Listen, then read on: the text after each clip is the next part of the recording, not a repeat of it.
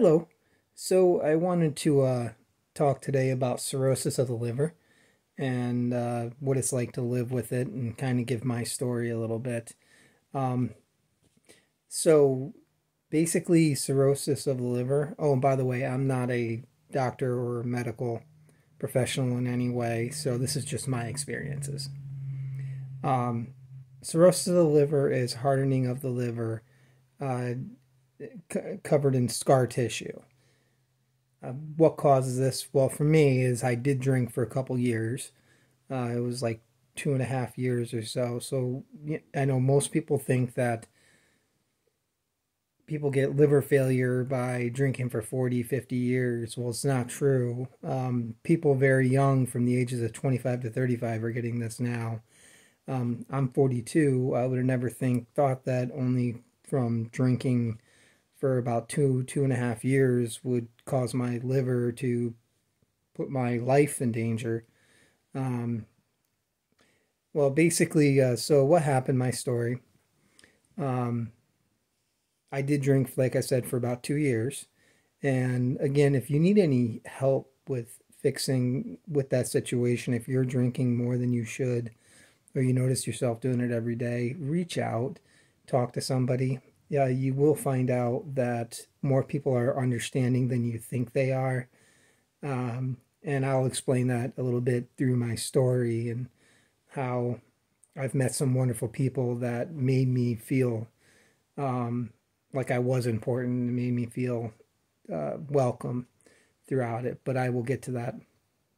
Um, also, depression's a big one. Uh, that was my thing. I kind of went into depression from a situation and then I wound up uh, uh, drinking, and I didn't touch a drop of alcohol for 15 to 16 years prior to this drinking of the past two, the two, two and a half years. Um, well, anyway, so basically, uh, I had gotten to the point where I was drinking about pint a night probably for the last year of it and it got to the situation where I started not feeling right, and I just didn't feel feel good. I started noticing losing my my muscle mass. Um, I used to, you know, be pretty decently built, and all of a sudden my arms are getting scrawnier, and you know my legs are getting scrawnier, but I'm getting this big belly, and and I always notice a little bit of a lump kind of right here under the chest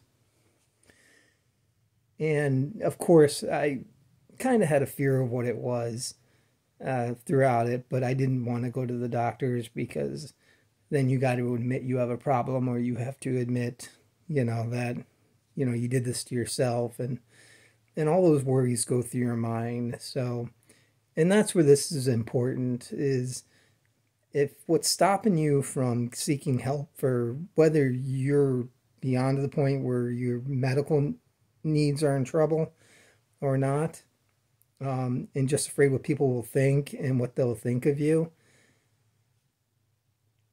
give people a try. You'll find out that there a lot of them are a lot more understanding than we think they are. But again, so eventually it got to the point I'd quit drinking. Um, this was the beginning of April of last year. 2022. And I had um, still had this extra weight. Sleeping was very difficult. Uh, it was like everything was like pushing on my sides and stuff. Uh, I got to a point where I couldn't walk about 10 feet without being able to breathe. Um, I was gasping for air. And I, I thought that maybe I had some kind of cold or bronchitis or something. And and I kind of, you know, ignored through it and I was like, oh, well, you know, I'll just, you know, take care of myself and stop drinking and do all that and which I started doing and my legs had swollen up to like this um, as well, my ankles and such.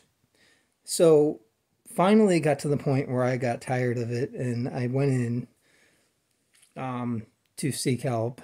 And, you know, I told him the situation and that I had been drinking, and the doctor came back and said that my right lung was completely filled with fluid and I am in um, liver failure.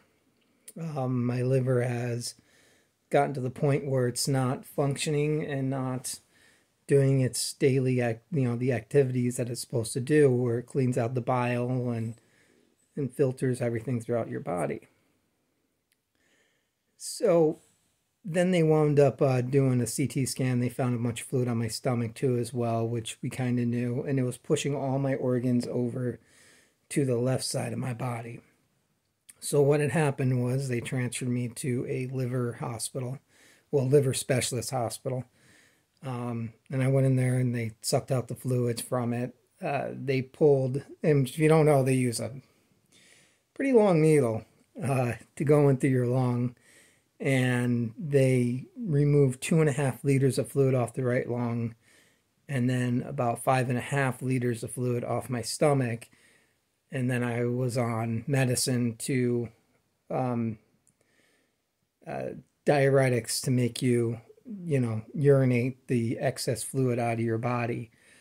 Uh, so, and then it, I was told I was given the different medicines. There's a few different ones that they give to help protect you. Um, one's called lactulose, and that is designed to remove ammonia from your body so that it doesn't wind up um, damaging your brain and causing brain failure or uh, or uh, a coma, which is one of the causes of death with liver failure. Um, and then Xifaxan, which is a like really potent uh, antibac- uh,